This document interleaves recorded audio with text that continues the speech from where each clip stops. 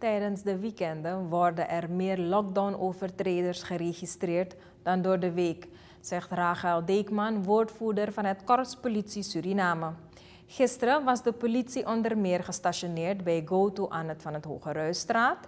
Op die locatie zijn er 46 personen aangehouden en overgebracht naar het politieopleidingscentrum.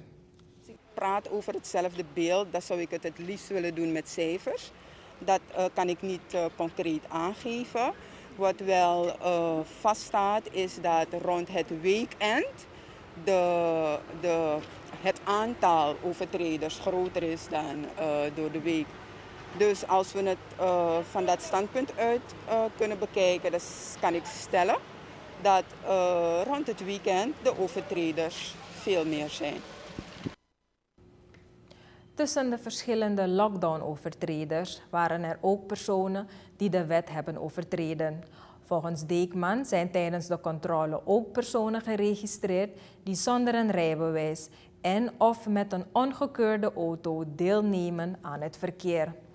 De verkeersveiligheid tijdens de lockdownperiode baart het korps zorgen.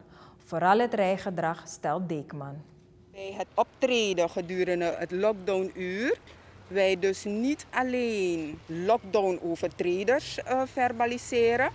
We komen burgers tegen die zich schuldig maken aan verschillende strafbare feiten.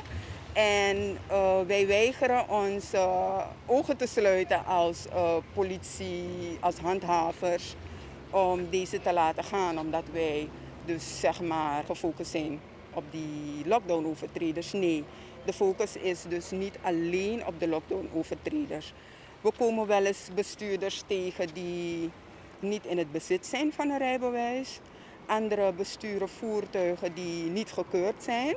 En zo heb je een aantal, ook zo komen wij een aantal overtredingen tegen in het kader van verkeer, verkeersrecht, verkeerskunde. En ook tegen deze uh, burgers worden er maatregelen getroffen.